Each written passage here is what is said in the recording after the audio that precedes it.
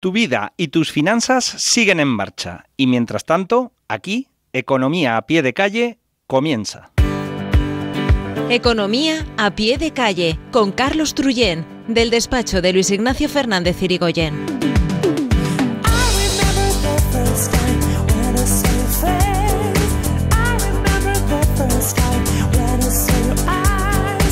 ¿Quién no ha escuchado estos últimos días que BBVA ha lanzado una OPA hostil contra el Banco Sabadell? Si quieres saber realmente qué es eso de una OPA hostil y qué puede significar esta operación para el mercado financiero en nuestro país, sigue escuchando.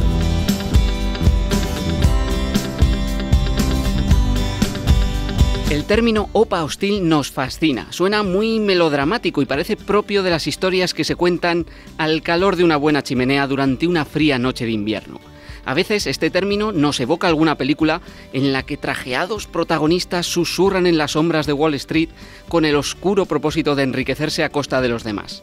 Sin embargo, nada más lejos de la realidad.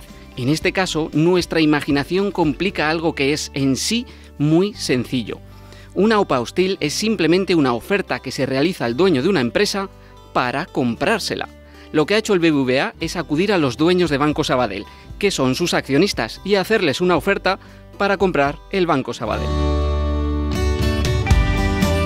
Claro, os podéis estar preguntando, si todo esto es tan sencillo, ¿por qué se llama hostil? ¿De dónde viene ese calificativo tan impropio de algo que se encuentra perfectamente reglamentado y legislado?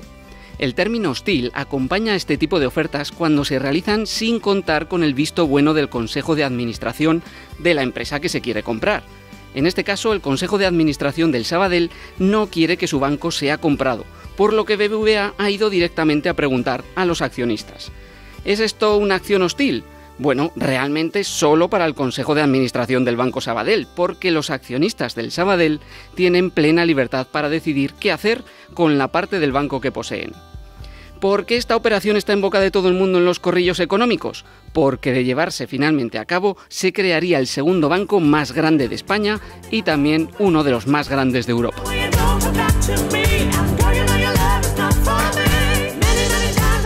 Recuerda, cuida tu salud física, que de tu salud financiera nos encargamos nosotros. ¿Necesitas el asesoramiento de Carlos? Ahorro, inversión, seguros y financiación. 630 88 91 97.